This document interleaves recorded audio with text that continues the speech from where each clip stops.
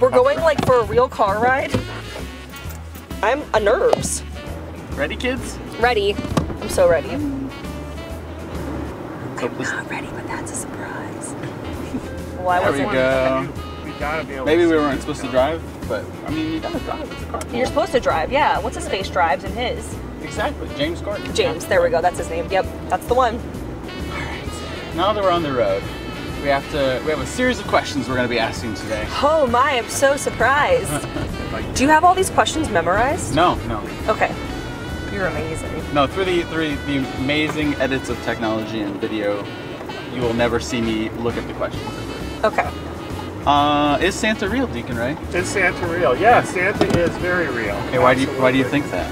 Uh, well, one, there was St. Nicholas, who uh, was very real and brought uh, gifts to little children. And uh, always, uh, Santa is uh, Jesus who lives always. So, That was so nice. Why did you get to go first? Just you volunteered to go first, actually. I volunteered. Miss Ekman, what about you? What do you think? I think that Santa is, of course, 100% real, um, because he, uh, my, he kept leaving me notes when I was really little. So, um, you know, I've got physical proof of Santa's existence. There's, there's no way around that. Wow, that's amazing. I promise I'm gonna stop talking between each person. Okay, Mrs. C's, what do you what do you think? Is is Santa real? Yes, he absolutely is real. Why No explanation needed. No explanation. Just needed. yes. Just yes. Yes. Sometimes in life we don't need explanations for things. Sometimes in life you don't need explanations for things. That's Very right. True. Well, obviously Santa's real. I mean, Santa may not be a real person, but he is real because he's inside everyone because everyone has the holiday spirit and they love to share uh, the whole holiday season with everyone else. So that's why Santa's real, and that's, That's- why I think Santa's real. Awesome. That's so beautiful. Beautiful. Should we uh, should we do some singing now? Oh yes. I don't know how to Go work this thing. Spotify. Get it in there. Go to Spotify. Spotify. Oh, Jizo Peterson. What is this thing? I. How do you get back to the home Oh, you screen? just swipe up. What is this thing? what? What is this?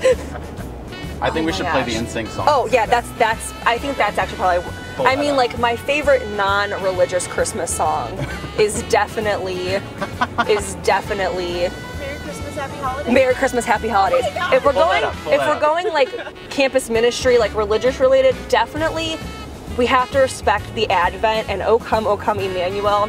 Love it. But if we're going from the childhoods, NSYNC for sure. No, No, it's the new this is a fancy one. Are you ready? Cue one of the best Christmas songs It ever. is one of the best Christmas Yes. songs ever.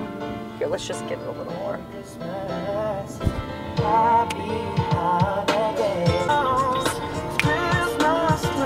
Mm, wrong line.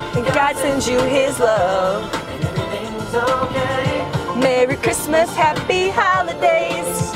Merry Christmas, Happy Holidays. I can't wait to hear my voice like on a blasting TV. Just, just over and over again throughout the whole school. Everybody's playing cause school's out celebrating special for the family.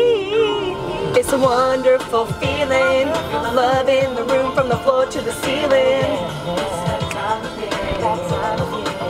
You gotta get those little ooh oohs in there too.